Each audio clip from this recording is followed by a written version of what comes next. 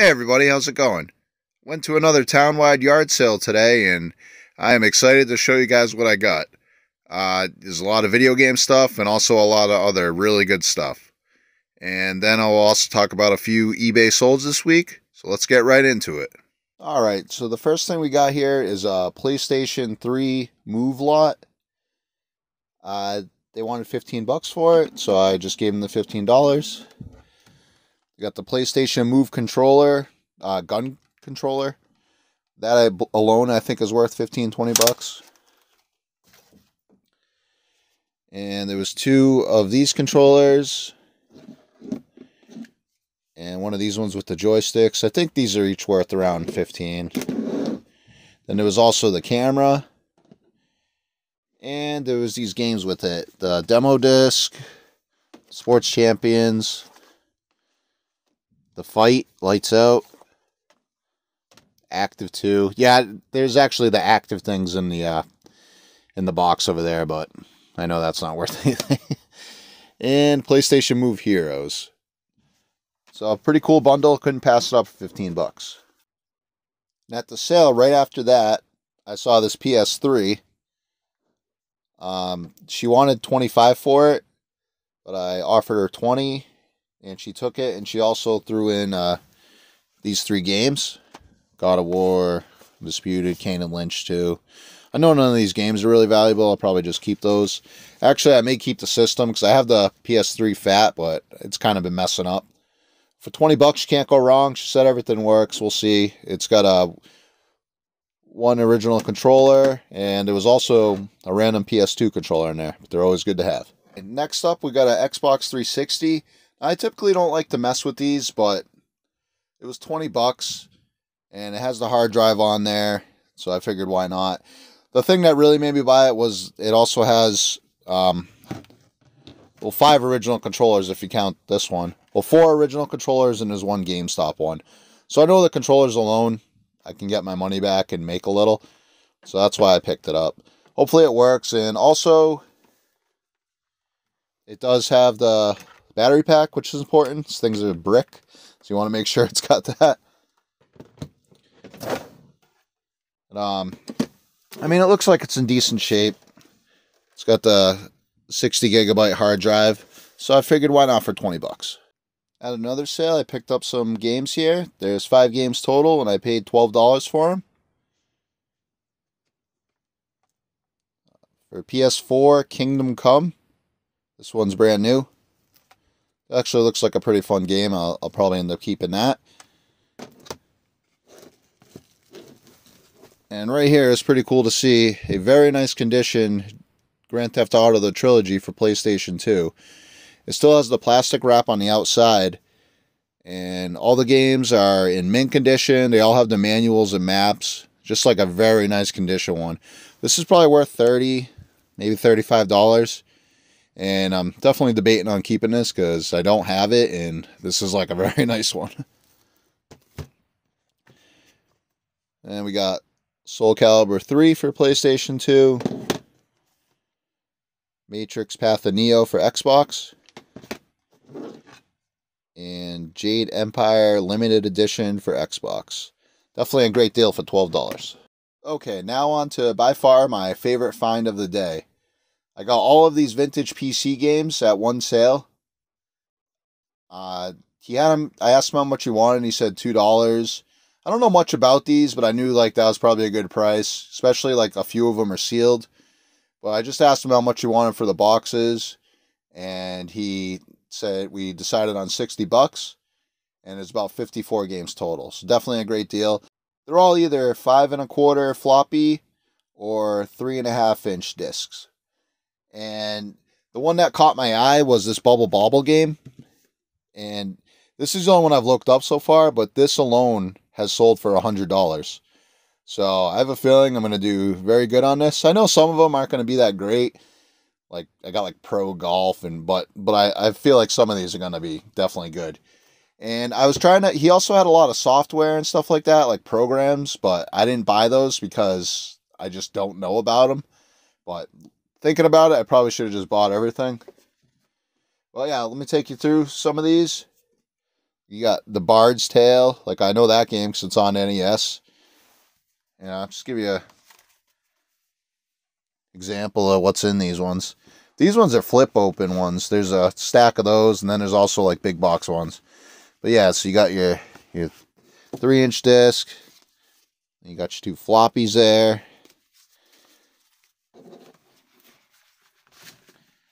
And I think it's got it's got like a manual in here or something, instructions. So yeah, they're just so cool when I saw them. So I decided to take a chance on them. Look at this one right here. R. It's just so cool. Like, look at that artwork. Yeah, this looks kind of like a Rampage type game. Never heard of that one. You got Fun Pack. This one comes with a controller. I looked in there and the controller is like still new sealed in there. So that's awesome. Uh, F-15 Strike Eagle. I don't have high hopes of that one because I know it's not worth much on NES. You never know. Uh, this is cool because it's like a really big box. MicroProse Land, Sea, and Air.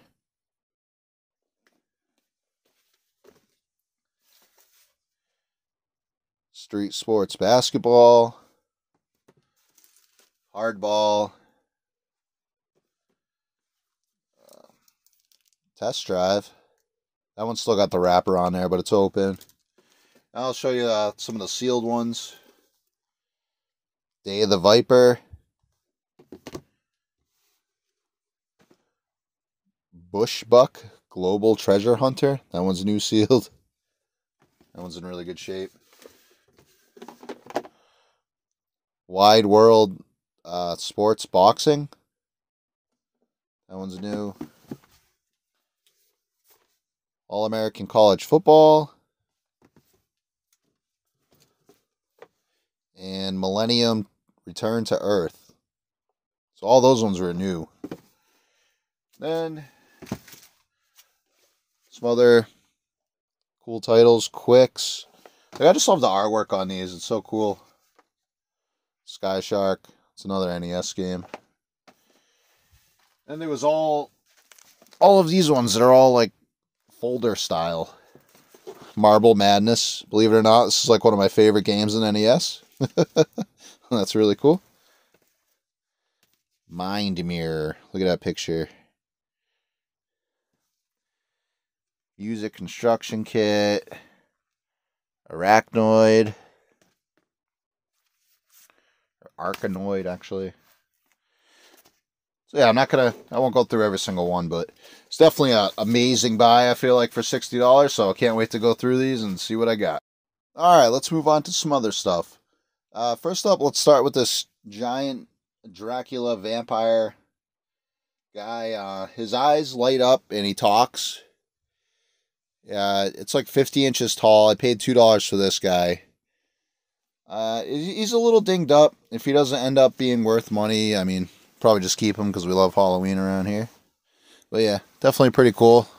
Uh, then there was one sale where I spent a total of $5 here. And this sale was pretty awesome too.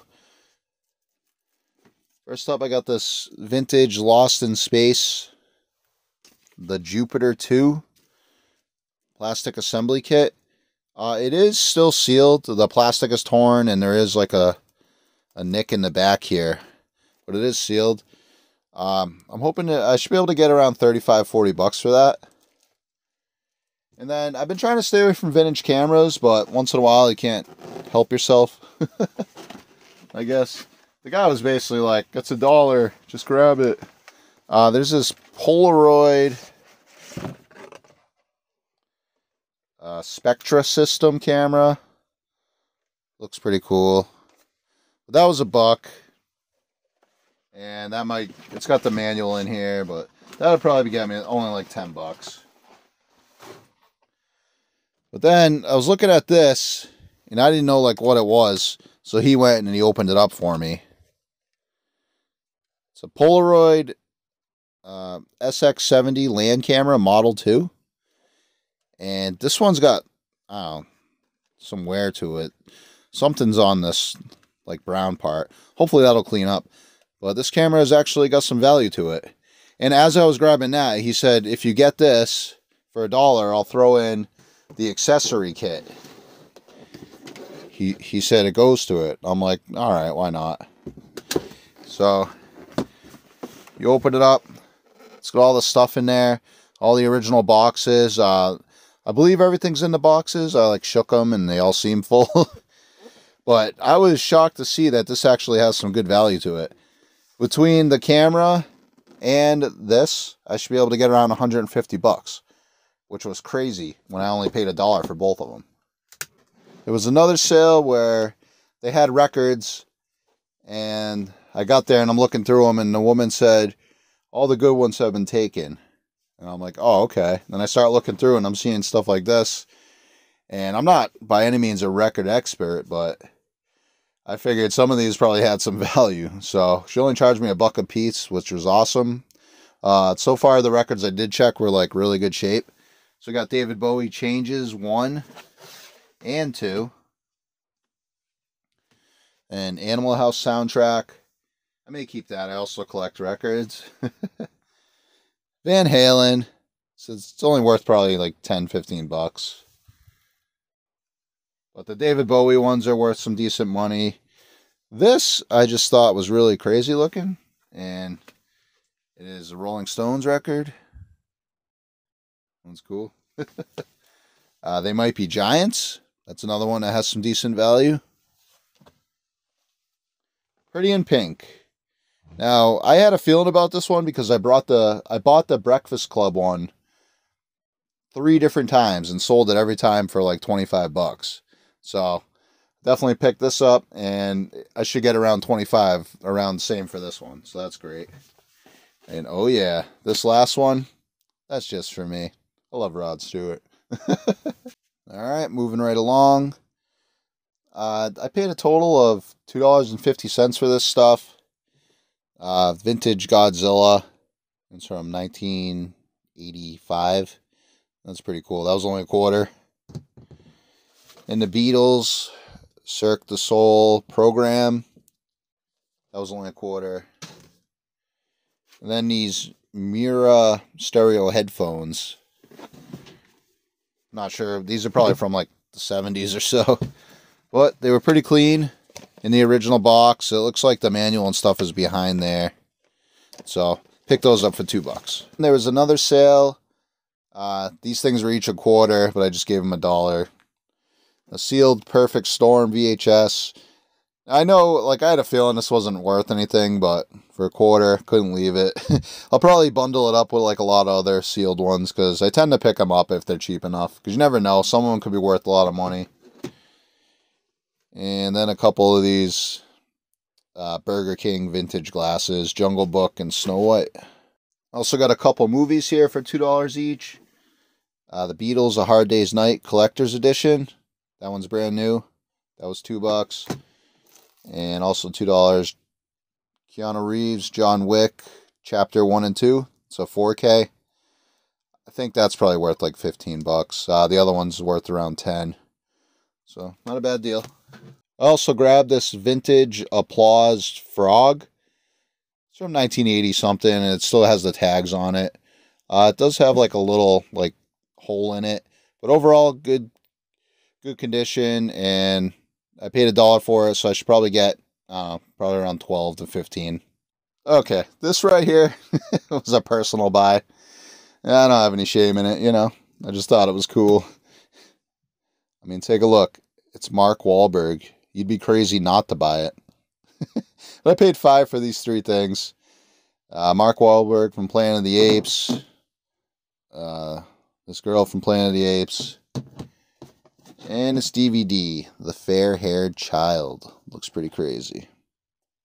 And this right here is a Sony Mega Storage 300 CD player. Um, I have already sold one of these that was in the box for 300, so I already knew it had value. I ended up picking this up for $25. He wanted 30 off from 25. And the cool thing is, it's even got the remote. Now, the remote alone has sold for around $40. But you put it together, and I should get right around 200 bucks for it as long as it's working. I already plugged it in. All the stuff's moving around as it should, so I got a strong feeling it's going to be working just fine. And yeah, that was an awesome buy. Last thing I picked up is this group of artificial pumpkins. Uh, this one right here is a vintage Trendmasters. It's got the light inside. I got that one for two bucks. And then at another sale, there was five of these ones. Now, these are artificial carvable foam pumpkins. Um, I looked them up and I should be able to get hopefully around 10 to 15 bucks a piece. Possibly more, like depending on the size of them. This one may go for a little more. But I got those five for a 10. Okay, so the last thing I wanted to do is talk about a few of the things that have sold on my eBay store during the last week. Uh, up first, we got Time Crisis 1 with the Gun Con for the PS2. That sold for $59.99 plus shipping. I don't really have anything into that. That came in a big lot of stuff, so that's good. After that, we got 1989 Scrabble Deluxe with the turntable. That sold for $31.99 plus shipping. That cost me, I believe, $6. And next was a really surprising find. It's a Alls-Wesky Gallery of Light Thomas Kinkade miniature light up diorama. Uh, this sold for $279.99 plus shipping. It's literally like a 4x6 little light up diorama. And I got it for $8. So I was pretty impressed with that. and it didn't take that long to sell, probably about a month or so. Uh, next, we have a Wachusett Mass Soul beer tap for $14.99 plus shipping. Uh, then we got Defender of the Crown for GBA complete and Ace Combat Zero on the PS2 for $58 total plus shipping. And that is going international. So that's pretty cool. And the last thing I want to talk about is the Cord Buddy for $24.99 plus shipping. Now, if you watch my last video, you'll see that was in uh, the free stuff I got. So that's definitely awesome to get 25 bucks for something you got for free. Well, all right, guys, I hope you liked the video. There'll be more videos to come, more pickups, more playthroughs, collection showing, anything that I think of that might be interesting. All right, have a good one. Bye.